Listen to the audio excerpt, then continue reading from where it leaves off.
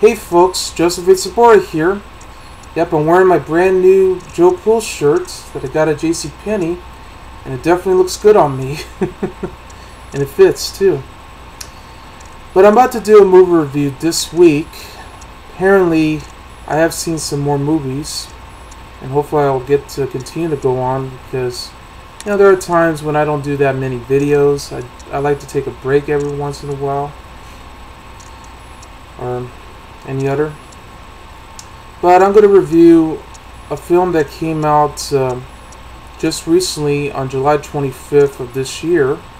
And it's already released on Blu-ray and DVD in a deluxe edition. And it's a film called Batman the Killing Joke. This is based on the graphic novel that became the number one New York Times best-selling novel for its time back in 1988. And I was actually looking forward to this one because, um, for starters, they brought back Kevin Conroy and Mark Hamill to do the voice of Batman and the Joker because they actually had done the voices since the TV show Batman the Animated Series. And I used to watch this show a lot. I always loved Batman ever since I started watching um, all the uh, classic shows, and I have read the comic books too. Yes, I, I always been a Batman fan as well. See, what do you tell you? Because I do love DC Comics as well. As much as I enjoy Marvel, I do enjoy DC. And I just recently saw uh, Suicide Squad uh, earlier. Uh, I'll do a review on that later. But I know I saw Batman vs. Superman Dawn of Justice which I haven't done a review yet, but I'm just figured maybe uh, I'll take some time to do so because I remember being this disappointed. I haven't seen the Ultimate Edition yet, which is the longer version of the film, but technically it'll probably do some justice to it, but unfortunately that still wouldn't make it up for such a bad film, and that's sad. But this one I mean, it, it does look interesting because um, not only did we got Kevin Conroy and Mark Hamill providing the voices, and this is the first time in years, but you got Tara Strong to do the voice of Batgirl. And I know Tara Strong's been doing a lot of voice acting ever since. Uh, in fact, uh, you know, she went on to do voice acting for for Bubbles in the Powerpuff Girls Love that show. I'm talking about the original, not the, the new one that we got. And I know she winds up doing all these other voice acting of other characters like Starfire from Teen Titans as well as Teen Titans Go. Um, does the voice of Dill Pickles on Rugrats. And um, several other shows that she's been doing. But she's a very talented voice actress. And I'm glad to see you know, she got to do the voice of Batgirl which I think she has done in all the other Batman animated films um, in the later years. So either way, I would say I think this movie deserves better, but I'm going to get to the review uh, right now. It stars Kevin Conroy, Mark Campbell, Tara Strong, Ray Wise, who's been in other TV shows and movies such as Swamp Thing, which is a 1982 film by Wes Craven. It's based on a DC comic book, as well as um, the TV series uh, Alien Nation that was based on the 1988 film. And he was also in other appearances. He was even played one of the bad guys, uh, yeah, who was uh, one of the partners of, uh, of Boddicker in the film RoboCop the 1987 film, that is. Robert Atkin Downes, John DiMaggio, Brian George, J.P. Karliak, Andrew Kishino, Nolan North, Mulby Sterling, Kari Wahlgren, who does a lot of voice acting in uh, other shows, mostly uh, Japanese anime, like Witch Hunter Robin, for instance. And Rick D. Wasserman. It's written by Brian Azzarello and is directed by Sam Liu. The movie begins where we meet Barbara Gordon, aka Batgirl, who tries to stop a robbery but fails, but suddenly manages to stop a fleeing criminal named Paris Franz with the help of Batman, which suddenly develops a dangerous obsession as she started receiving message from Franz that Batman suddenly shares concerns with, but wasn't taking itself so seriously for the situation alone. So Franz suddenly tricks uh, Batgirl by finding his uncle's dead body. Batman suddenly becomes concerned about her safety and wants to take her off the case. Feeling very outraged, Batgirl started to attack Batman both verbally and physically, and on top of that, on the top of the rooftop, she shares a kiss and had sex. Yeah.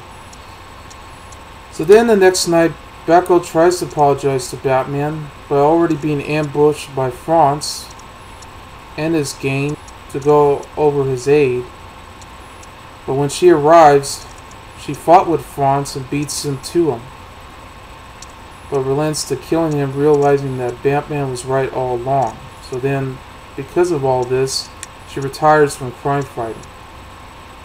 Later on, Batman investigates a murder scene with Detective Harvey Bullock, and just finding out that the Joker, already held at the Arkham Asylum, was behind the crime where all the victims are already being all Joker faced.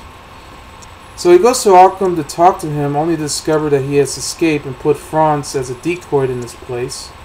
Then learns that Joker attacked Barbara and her father, Commissioner James Gordon, yeah, by actually shooting uh, Barbara in the stomach and kidnaps Commissioner Gordon, which apparently he strips naked and then subjected to torture him inside the carnival, showing him the photos he took of Barbara after shooting her and, suddenly stripping her as well.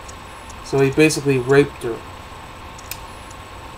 So then that's where we got to see the flashbacks of Joker's story, where he started out as just uh, an ordinary guy. You know, he wants to become a comedian, but he has a wife that sadly has been killed. But unfortunately, since he already failed miserably as a stand-up comedian, he, he agrees to help two criminals rob a former workplace that's inside a factory. So he dresses up as uh, the Red Hood by wearing the mask and cape costume intending to frame him. Suddenly, he fell into a bowling acid, and that's where he became, as we know it, the Joker. And already with green hair and um, pale skin. And this actually happened after the two criminals had been shot down. Anyway, Batman decided to find Commissioner Gordon after Joker sent him a clue leading him to the amusement park, which is the carnival, and saves Gordon while Joker retreats him into the funhouse. But despite of his ordeals, Gordon remains sane and demands Batman to capture Joker by using the book. Yes, by the book. So Batman follows Joker throughout the funhouse as Joker tries to persuade him into one big killing joke which is basically one bad day is enough. That's what he refers to. Enough to drive an ordinary man insane. But Batman correctly guessed that it's one bad day that drove Batman into, as we speak, a vigilante. So, of course, Batman eventually seduced the Joker, telling him that Gordon has remained sane despite of everything he's suffered. He concludes that Joker is alone in his madness. But after all, they all fight off, and then that's where he tells the, the killing joke that made Batman laugh.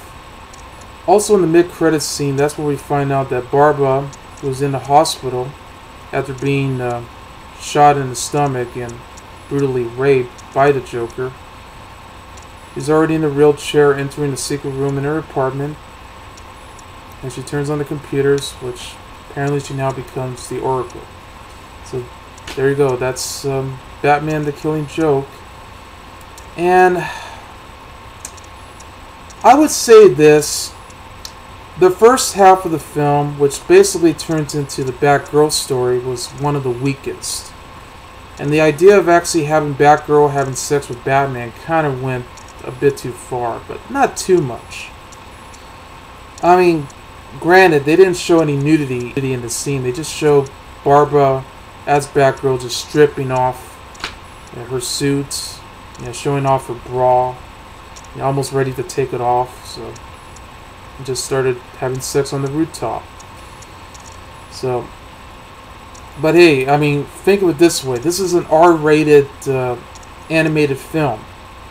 They're supposed to have some more stuff into the movie, but I think they could have done a whole lot better. I mean, there was a lot of headshots, a lot of blood everywhere, uh, mostly from all the criminals that were getting shot, but it didn't have uh, any uh, foul languages like I was hoping they would, except for the word shit.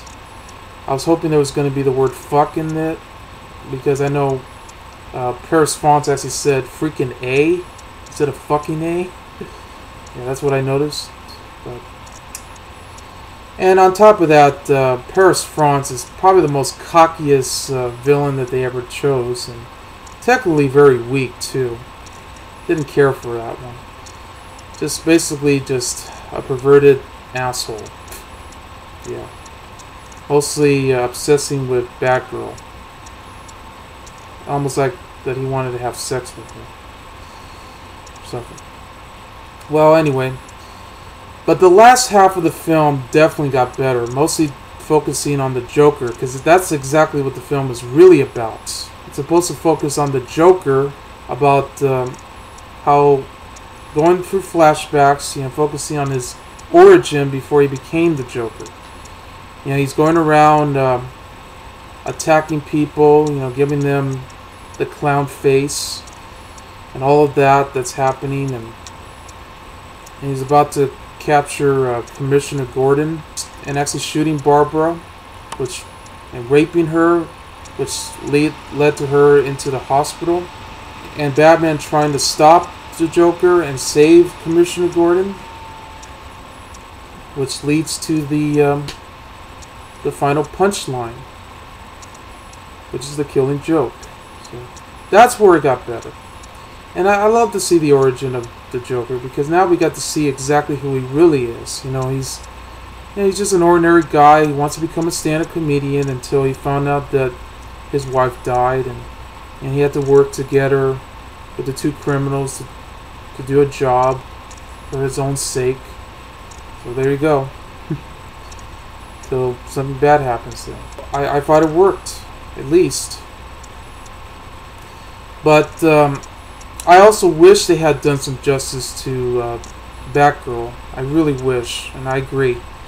It, it you know, I, as much as I love uh, Tara Strong portraying the role of Batgirl, you know, Barbara Gordon, she did a very good job doing the voice of her, because she has done that before. I just wish her story was better written, better paced, and definitely do her character some justice, because they just fucked this up and turn into basically a sex story of some sorts. It, just doesn't work. And uh, that's sad. But it's great to hear Kevin Conroy uh, doing the voice of Batman, even though he sounds quite different than his usual voice um, in the animated series, as well as the animated films. Um, but Mark Hamill remains the same, as the Joker. He definitely sounds exactly the same. So there you go. I mean, considering how they're both um, in their 60s, so they're very old. But they definitely provide them very well. So it's good to hear them. Uh, the animation, well, they were going for a whole um, comic book feel to it, so they had to do some major changes. I mean, they had to use uh, rotoscoping in the mix um, with all the fight scenes and all these other shots that they put into it. It also has sort of a mix of some of the 90s animation or so, but they just use a lot of rotoscoping It's in high definition, of course. They wanted to make it look as pristine as, as possible. But other than the the problem with the first half of the film, I think it's a decent movie. I just wish they had done some justice with the graphic novel, and it definitely deserves better. The score wasn't really that memorable. I kind of wish they had a better score as it turned out, but what can you do? and I kind of wish the pacing was a lot better too. I mean, it is fast paced, but it really needs some better pacing. But either way, it's worth watching. It's not as good as all the other animated films that Batman had, like Batman Mask of the Phantasm, which is one of the best ones. Uh, Batman uh, Sub Zero, that's a good one too, that focuses on uh, Mr. Freeze. And all the other ones that follow. Yeah, even the Batman, the, the Dark Knight Returns.